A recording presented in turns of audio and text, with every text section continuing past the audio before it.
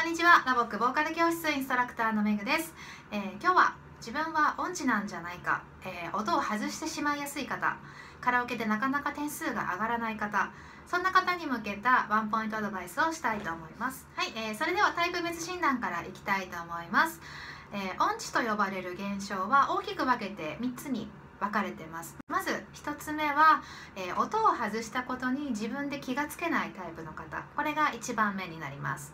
それから2番目は、えー、リズムの音痴なんですけれども、えー、歌うとこうお経のようになってしまったりとかリズムにうまく乗ることができないタイプの方。この方が2番目になります、え最後3番目は、え音を外したことは自分で気がつけるんですけれども、え音域が狭かったりとかまたはその音程を自分でコントロールができなくってその結果音を外してしまう方。この方が3番目のタイプになります。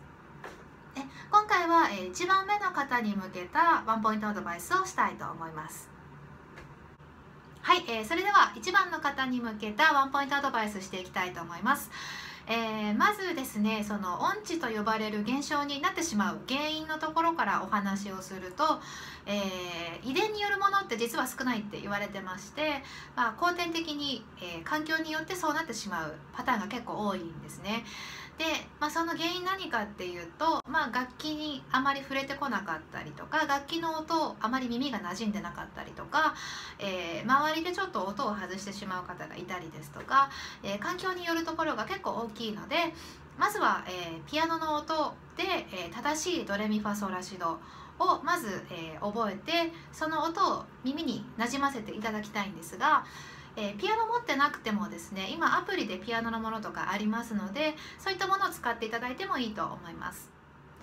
はい、えー、それでは実際にピアノもしくはピアノアプリを使ってどのような練習をしていくかっていうのをやっていきたいと思います、えー、まず1つ目は、え最初は鼻歌、えハミングでやってみてください、え、それから2つ目は、え、そんなに大きな声を出さないでピアノの音を聞いてみてください、えー、自分の声だけでですね耳がいっぱいになってしまうと周りのピアノの音が聞こえてないと音を外してしまう原因になるので最初はそんなに大きな声を出さなくて大丈夫です、えそれから3つ目、えー自分でピアノの鍵盤を押さえながらハミング鼻歌をしてみてください、え視覚と聴覚、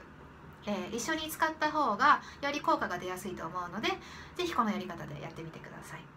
はい、えー、それではハミングのやり方注意事項をお伝えしたいと思います、えー、そもそも何でハミングなのかっていうところなんですがいきなり歌ってしまうと、えー、音をなかなか正確に最初取りづらいかと思いますのでハミングだとまあ骨伝わってくるのでね音も取りやすいかと思うのでまずはハミングでやってみてください、えやり方なんですが、えいきなりそんな長い音でやらなくて大丈夫です。短い音でいいのでふんふんふん毎回こう音と一緒に鼻から息を出すイメージ。ふんふんふんこんな感じで、えー、この後ピアノ出てきますけれども、えー、音を出してみてください。はい、えー、画面をピアノの方に切り替えました、えー、まずですね今回はこのどの音でやってみたいと思います。やり方はさっきお伝えしたやり方でハミング鼻歌ですね。で、えー、いきなりロングトーンやろうとすると伸ばしてる間に音がずれてしまう可能性もあるのでまずは、えー、短い音からやってみてください。